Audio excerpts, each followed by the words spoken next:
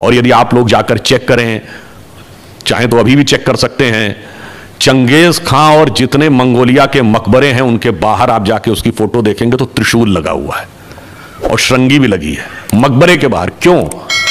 आप किसी से इतिहास से पूछिए तो कहते मंगोलों का धर्म क्या था? कहते तेंद्रिन था। तेंद्रिन और कुछ नहीं था।